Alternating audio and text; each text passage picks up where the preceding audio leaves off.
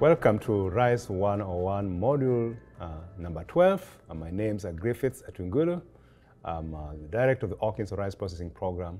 I'm an associate professor and agricultural engineer. And my area of specialty is in grain processing and post-harvest systems engineering. I'm housed here in the Department of Food Science. I'm with the University of Arkansas Systems Division of Agriculture. In this module number 12, we are going to uh, discuss factors affecting rice milling quality uh, we're going to start by defining some terminologies. Uh, we're going to talk about mill, milling yields versus milled rice quality. Uh, we're also going to describe, describe some of the factors that affect uh, rice milling yield and quality. So to start by, uh, let me uh, describe what we call rice milling quality. milling quality is often expressed as a ratio of head rice yield to milled rice yield. And this example here is giving us a 58 to 70 value of uh, milling quality. In this case, uh, uh, head rice is 58% and milled rice is 70%. And of course, the broken rice would be, uh, uh, the difference of milled rice and the head rice would be 12%. Now, rice milling quality can be influenced by any factor that affects the kernel strength. As you know, uh, we described that in terms of the breakage of the kernels, and so the strength of that kernel, the integrity of that kernel is very, very important. I'm going to describe some of those factors uh, that will affect the kernel strength, and I want, to, I want to start with the harvest moisture content and the significance of that. Now, the harvest moisture content is uh, one of those factors that is really at the producer's control in, in the whole chain of rice processing. Uh, I'm illustrating these two figures here uh, to show some of the results that we obtained in the lab for rice moisture content, uh, for rice that has been harvested at different moisture content. Uh, the first uh, graph there in blue is illustrating a case where rice lot was harvested at 27% moisture content. Now the x-axis is telling us the, in, the moisture content of individual kernels within that back lot, and uh, the y-axis there is telling us the frequency, the number of kernels that correspond to the various moisture contents.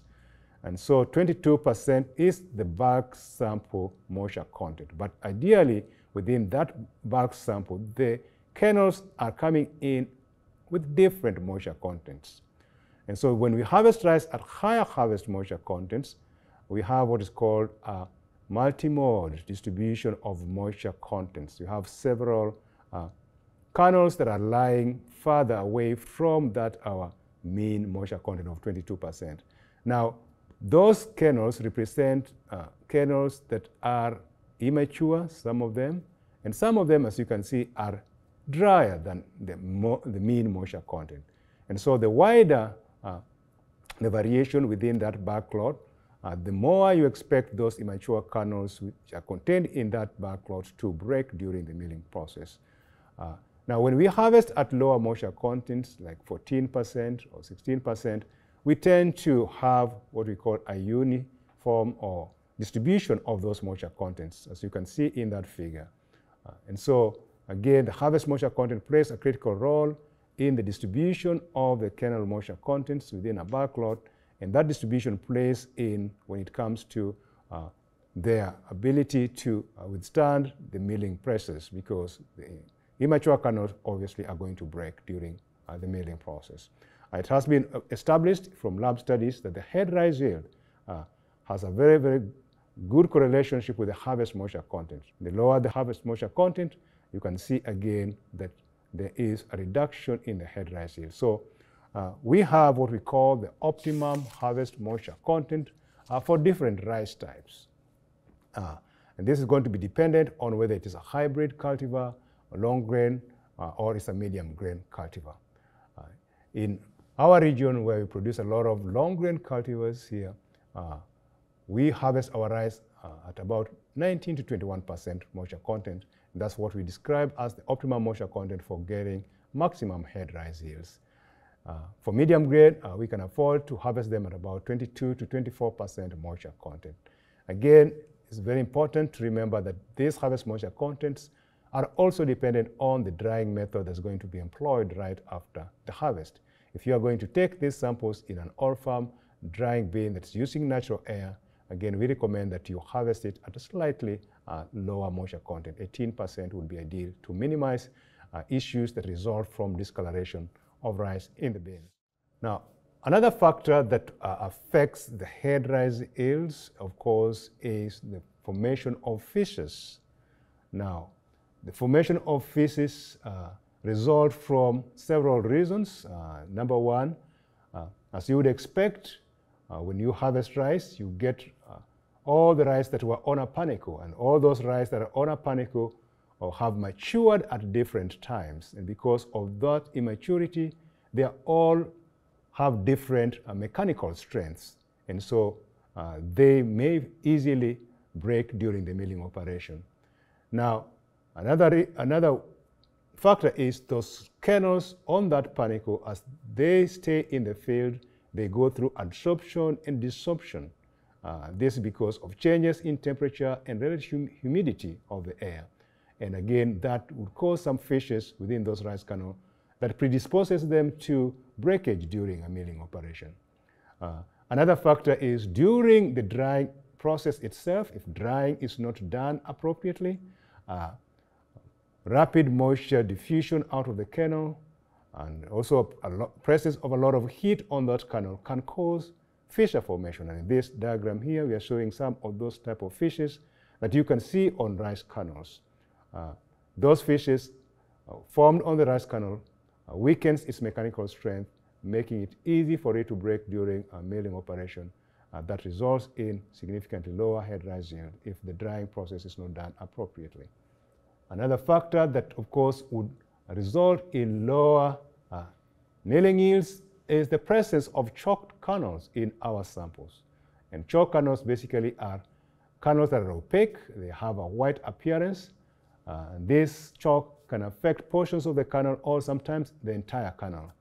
So increases in chalkiness have been found to reduce head rice yields. Uh, now these chalk kernels are formed because of several reasons. Uh, it's been found out that uh, high nighttime air temperatures at critical growth stages increases this chalk, uh, and therefore that tend to decrease also the head rice yield of those cultivars that are affected. Another factor that affects, of course, our uh, head rice yield or our meal rice yields are disease or insect infestations on the kernels. Again, disease or insect would affect the mechanical strength of the rice kernel, making it easy to break uh, during uh, the milling process. So there are various diseases that uh, attack our, our kernels. Uh, common diseases include uh, rice blast, uh, sheath blight, kernel also very popularly known to cause discoloration of rice, but also significantly softens the kernel, making it easy, easy to break during the milling operation. Now, there are insects like the rice stink bug that uh, affect our, our kernels, and when they do that, they soften that kernel, making it very easy to break during the milling process. Uh, just to uh, explain the difference between milling yield and milled rice quality as used uh, terminologies in literature or in our, in our field, technically milling yields are those uh, parameters that are typically very important uh, for the grower and sometimes also for the processor. So they basically uh, involve milled rice yield and head rice yield. Uh, while milled rice quality, when we talk about milled rice quality, we are thinking about those parameters uh, that are of significance to the processor because they dictate consumer preferences to our rice, or they, they, they dictate some of the, the, functionality of the rice during uh, the processing. And these include things like the chalkiness of that rice kernel, uh, the color uniformity of that rice kernel, the amylose content, the gelatinization temperature, the gel consistency, and some of uh, the chemical related characteristics that would impact on the functionality of that rice during processing or during cooking that eventually would translate to a consumer's uh, liking or disliking of the end product. So let's now look at some of these factors that would affect both the yield and also the quality of our rice. And specifically looking at the quality aspects uh, that the consumer uh, is very, very interested in. So there are environmental factors. We are going to classify this in terms of environmental factors, uh, and then there are also those factors that come as a result of processing. So To start with, environmental factors would include things like the air temperatures, uh, the atmospheric carbon dioxide, the light, uh, the water, the soil nutrients. All these factors are essential for development of rice during production. And so any deficiency uh, in any of these parameters, of course, is going to translate into the quality of the rice that we obtain. Uh, nitrogen application is also one of those factors that has been found to be very, very important in terms of uh, the yield of the rice that you're going to get, as well as the milling quality of that rice. The variety of the cultivars that we are dealing with, of course, are going to affect uh, the quality of, of the rice that we obtain. And so different varieties have got different shapes. Uh, the shape is going to affect the processing. Different varieties have different sizes. Uh, grain width and thickness uh, have been found to be positively correlated with milled rice yields. And of course, that eventually also translates into some of the quality parameters of that rice during processing. Now, the hull characteristics, again, uh, decreased hull weight correlates with increased milled rice yields. The bran layer thicknesses, hybrid rice requires shorter milling duration uh, than pure line rice. And again, because of the bran layer characteristics, you'd expect to have different uh, quality parameters for different uh, rice cultivars. Then the other factors are very related to the way that rice has been processed, and most of these factors uh, really depend on the degree of milling. And this degree of milling, of course, as we described in various uh, uh, slides, is dependent on the rice moisture content, that rice temperature, that rice age, uh, the kernel size and shape uniformity, the kernel bran uh, characteristics, the rice millability, the milling duration, the milling chamber, uh, the amount of rice in the milling chamber. Uh, all these are milling degree related parameters that would affect uh, the quality of the rice that is produced at the end of the day.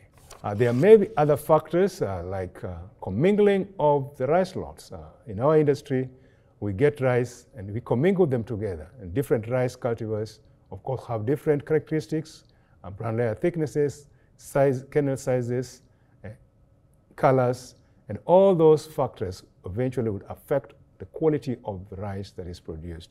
And so the more uniform the sample we have, uh, the more we can optimize some of the quality parameters. And so there's a tendency in the industry right now to do what they call uh, individual preservation of cultivars and sell them in specific market niches to fetch better prices. In the process of doing that, they can also maximize on uh, quality of rice or produce premium products.